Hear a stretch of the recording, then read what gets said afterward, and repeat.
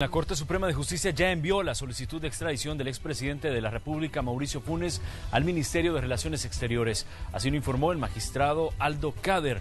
Ahora el proceso debe desarrollarse entre los gobiernos de El Salvador y Nicaragua.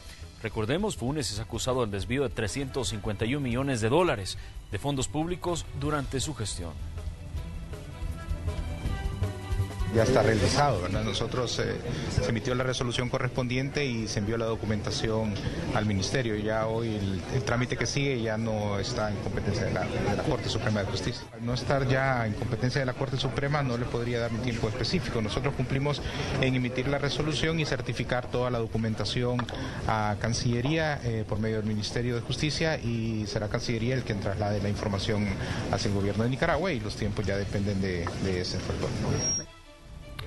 Y hay una nueva orden de captura contra el presidente Funes. El juzgado octavo de paz de San Salvador ordenó instrucción formal con detención provisional contra el exmandatario por el delito de evasión de impuestos en perjuicio de Hacienda Pública por 85.157.25 dólares durante el periodo fiscal 2014. Esta es la quinta acusación penal en contra de Funes, además de un caso civil por enriquecimiento ilícito. En total son seis casos los que Funes tiene pendientes con la justicia salvadoreña.